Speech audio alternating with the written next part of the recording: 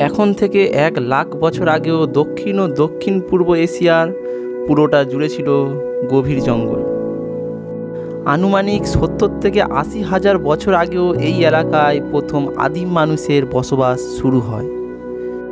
Mangrove বনের অন্যতম বৈশিষ্ট্য এই বনের উদ্ভিদগুলো একাধিকবার সমুদ্র কিংবা নদীর জোয়ারের কারণে নোনা জলে অর্ধেক ডুবে থাকে। সুন্দরবন হল বঙ্গোপসাগরের প্রশস্ত বনভূমি। ভারত ও বাংলাদেশ সীমান্তে দক্ষিণ অংশ জুড়ে অবস্থিত এই সুন্দরবন।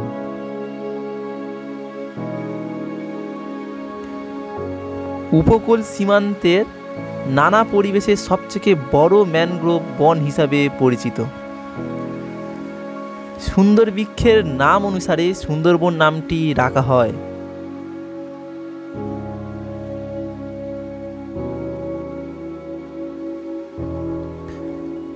উনিশশো সাতানব্বই সালে ইউনেস্কো সুন্দরবনকে ঐতিহ্যবাহী স্থান হিসেবে স্বীকৃতি প্রদান করেন।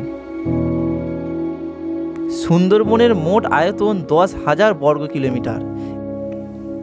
এর মধ্যে ছ হাজার বর্গ কিলোমিটার এলাকা বাংলাদেশের নিয়ন্ত্রণে রয়েছে, আর বাকি চার হাজার বর্গ কিলোমিটারের মতন ভারতের নিয়ন্ত্রণে রয়েছে। এখনও অনেক মানুষ এই সুন্দরবনের পার্শ্ববর্তী এলাকায় স্থায়ীভাবে বসবাস করে। এদের একটা বড় অঙ্কের জীবিকা উপার্জনের একমাত্র উপায় মাছ শিকার।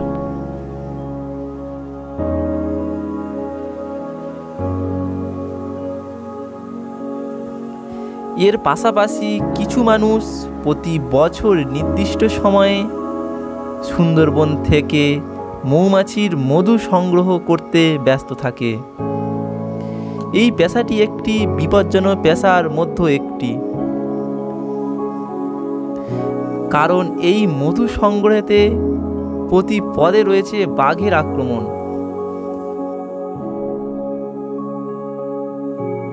সুন্দরবনের জীববৈচিত্র্য নিয়ে কথা বলতে গেলে যার নাম প্রথমে আসে তা হলো রয়্যাল বেঙ্গল টাইগার। এই প্রাণীটির গায়ে হলুদের ওপর কালো ডরা কাটা কাটা রঙের জন্য বিশ্ববিখ্যাত। সাধারণত এদের দৈর্ঘ্য দশ ফুট হয়ে থাকে।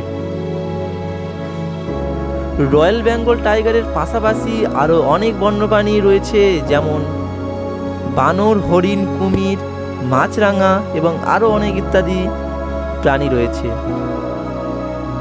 এই সুন্দরবনের প্রতি মানুষের আগ্রহ কিন্তু এখনও প্রচুর রয়েছে। এরকম আরও অনেক ভিডিও পেতে আমাদের চ্যানেলটা সাবস্ক্রাইব করো। দেখা হবে নতুন কোনো একটা ভিডিওর সাথে।